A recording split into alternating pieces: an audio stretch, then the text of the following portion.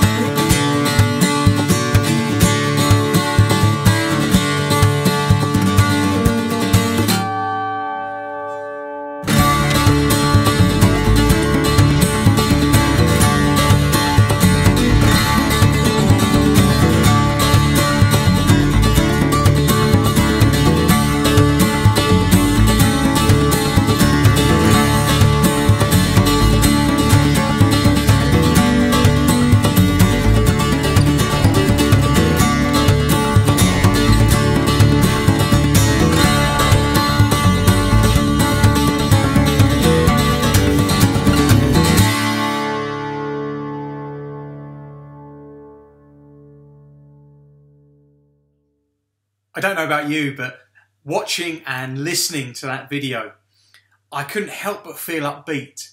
I, was singing along to the words of Amazing Grace while I read the words on that screen and being reminded of what Jesus accomplished through his death and resurrection, of the relationship that God deeply desires to have with every single one of us it's a wonderful reminder and a wonderful hope that we have at Easter time. And we're going to listen now to one of the gospel accounts of the resurrection, that first morning when disciples, uh, when the women came down to the tomb and found it to be empty, the stone rolled back, and with the news shared to them that Jesus is alive. And so Daisy is going to read to us uh, from Luke's Gospel, chapter 24. Morning! This reading is taken from Luke chapter 24, verses 1 to 12. Jesus rises from the dead. On the first day of the week, very early in the morning, the women took the spices they had prepared and went to the tomb.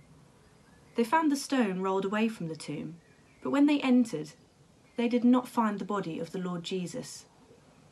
While they were wondering about this, suddenly two men in clothes that gleamed like lightning stood beside them. In their fright, the women bowed down their faces to the ground, but the men said to them, Why do you look for the living among the dead? He's not here, he has risen. Remember how he told you while he was still with you in Galilee. The Son of Man must be delivered over to the hands of sinners, be crucified, and on the third day be raised again. Then they remembered his words. When they came back from the tomb, they told all these things to the eleven and to the others. It was Mary Magdalene, Joanna, Mary the mother of James, and the others with them who told the apostles. But they did not believe them, because their words seemed to them like nonsense. Peter, however, got up and ran to the tomb. Bending over, he saw the strips of linen laying by themselves, and he went away, wondering to himself what had happened. Let's be honest. This year, it's not the same. Our church buildings are closed, and today, of all days, is when we want to be together, singing with one voice songs of praise to our risen King. In our church, we're missing a joint service with our Portuguese speaking congregation. And it's always an endearing kind of holy chaos, but with added levels of excitement every Easter Sunday. In some years, we've celebrated baptisms. We've ended our Lenten fasting with the joy of feasting. Roast dinners, chocolate eggs, maybe even a barbecue if the weather's good. But this year is different. Christ is risen, but he's not where we expect to find him. Christ is risen, and he's not just left the tomb, but this year he's left the building. Make no mistake, Christ is risen. But you're going to need to seek him if you want to find him.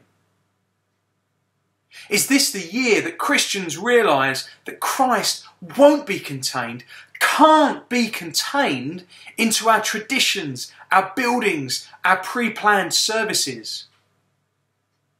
Jesus isn't the genie in the lamp who is summoned on Sundays to answer our wishes before vanishing in a wisp of smoke.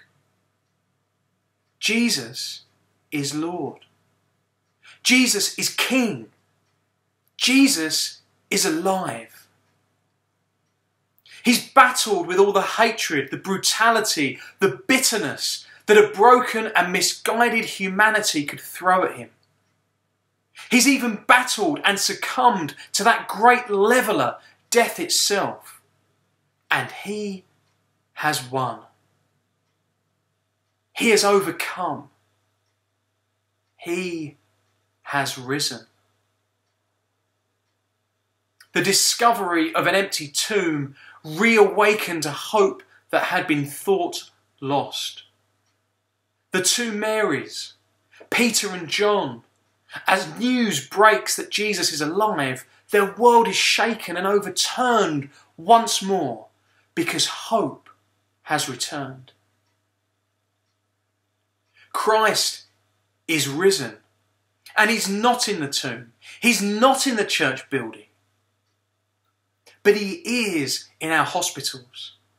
He is walking with a nurse in intensive care, with the porter moving patients the domestics cleaning bloodied theatre floors and receptionists manning A&E.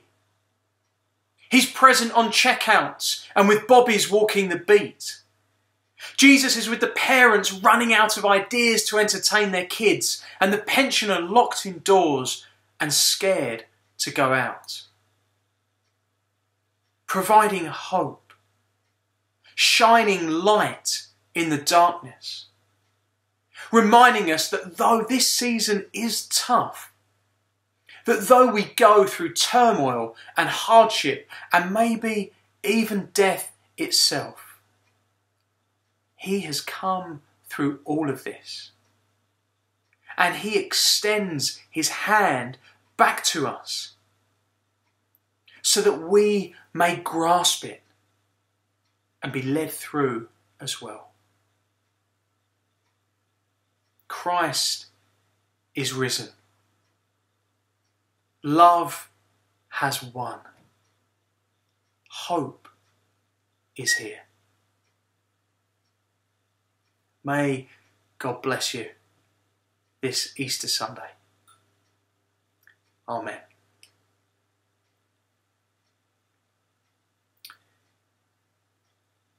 Our prayers this morning pick up on the uncertain times that we live in.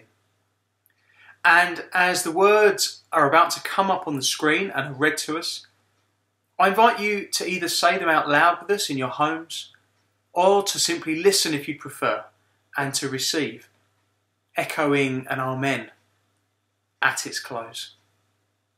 So let's pray together. Some of us are okay some of us are not.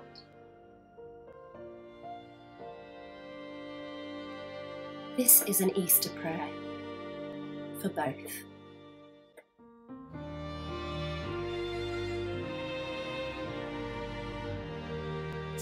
May God take the hope that pours out of the empty tomb and pour it into your life in surprising ways.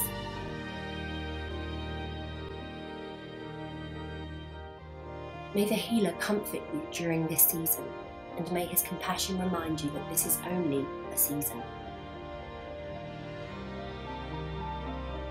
May the Lord sustain those who are without jobs, and may his sustaining mercies appear new every morning.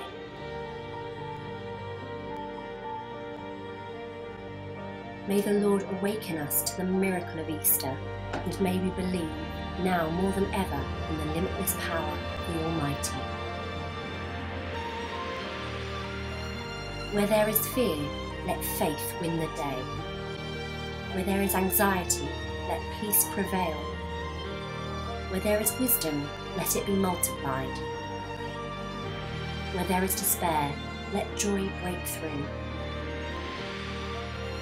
May God draw near to the brokenhearted, and may you fully know the reassurance of His presence. May the Spirit breathe new life into your new normal, and may your heart be resurrected with confidence and courage.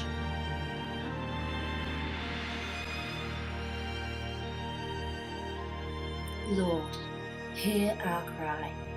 Lord, heal our world. Lord, be glorified. Amen.